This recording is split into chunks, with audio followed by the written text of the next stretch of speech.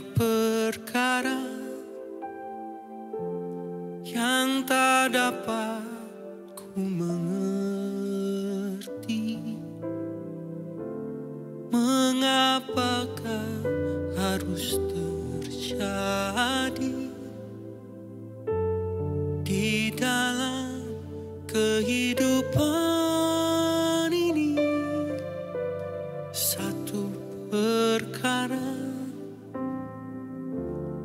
yang ku simpan dalam hati.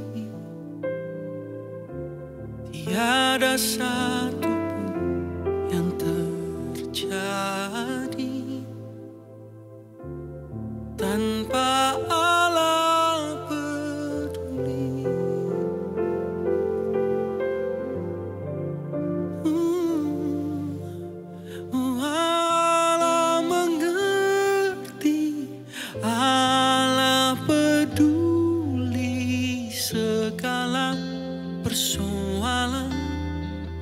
kita hadapi takkan pernah dibiarkannya ku bergumul sendiri sebab